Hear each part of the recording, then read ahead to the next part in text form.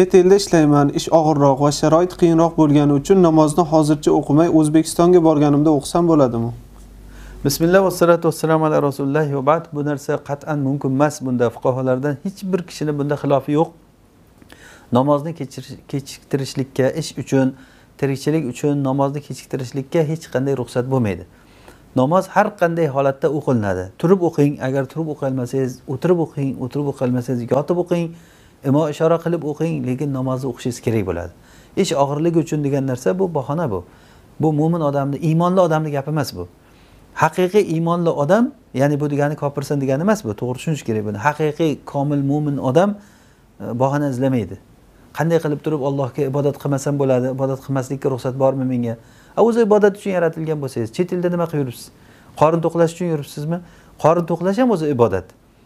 Alloh taolo rizqni kafolatlab qo'ygan. To'g'ri siz sabablarni ushlashingiz kerak lekin bu narsa namoz o'qimaslikka hech qanday bahona bo'lolmaydi. Bu hayot alloh subhanava taolo sizga bitta hayotni beradi. U yerdan hozir o'zbekistonga qaytib kelaman degan sizga hujjatingiz ham yo'q birinchidan. Inson bir kunda o'zi e, jon taslim qilishligi hech narsa emas. Shuning uchun ham hech bir odamga bu narsa ixtiyoriy masala emas bu. Hech kim bunga ruxsat ham berolmaydi namoz mo'min odamlarga farz. Inna solata kanat alal mu'minina kitaban mavquta namoz vaqti belgilangan farz bo'ldi. Shunchalikki namozni alloh subhanava taolo yaxshi ko'rganligidan namozni qattiq ta'kidlab buyurib nechta o'rinlarda namoz o'qinglar namoz o'qinglar buyurdi namoz o'qimaganlarga do'zaxdan ularga qo'rqitdi azoblar bilan qo'rqitdi. Namozni farz qilganda osmonda farz qildi.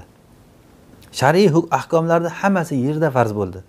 Namoz rasululloh sollallohu alayhi vasallam ollohni huzuriga ko'tarilganlarida chiqqanlarida isro merojda ollohni huzurida bevosita ollohni o'zi rasulullohga namozni yukladi.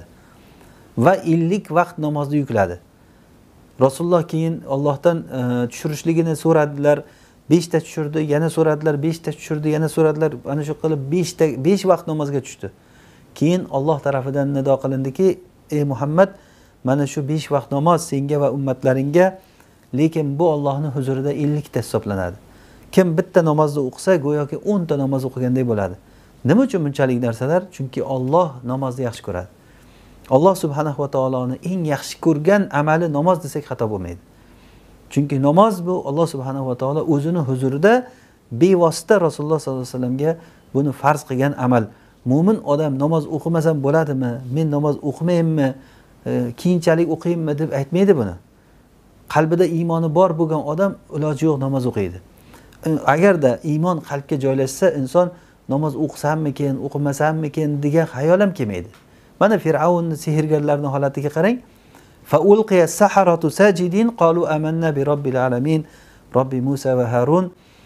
Ya'ni sehrgarlar muso alayhissalom bilan kurashgani maydonga chiqqan sehrgarlar qalblariga iymon kelgan payt kelgan paytida shundoq sajda qilib yiqildilarda keyin aytdi iymon keltirdik deb. Tili bilan aytishligi keyin bo'ldi. Aytishdan oldin o'zi sajdaga qarab turib yiqildi ular. Qarangki shu iymon mana shunday bo'ladi. Inson qalbiga iymon agar joylashadigan bo'lsa odam namoz o'qimaymi menga ruxsat bormikan degan narsani savolni bermaydi. Shuning uchun ham bu birodarimizga nasihatimiz shuki hech qachon namozni to'xtatmang. Bugundan boshlab o'qish kerak. Ertadan boshlab bomdoddan boshlab o'qing emas. Hozirdan boshlab hozir shom bilan xuftonni qo'shib o'qing va ertadan to'xtatmang bu namozlarni. Alloh subhanahu va taolo ishingizni oson qiladi. Umringizga rizqingizga alloh subhanahu va taolo o'zi barakotlar beradi inshaalloh. Allohga ibodat qilgan bandasini alloh taolo hech qachon qarovsiz holatda tashlab qo'ymaydi. Ibodat qilmagan qancha kofirlarga alloh taolo rizq beryaptiyu mo'min kishiga o'ziga sajda qilgan mo'minga olloh rizq bermaydimi? Shuning uchun ollohni bandasiman degan odam albatta namoz o'qishi kerak. Vallohu alam.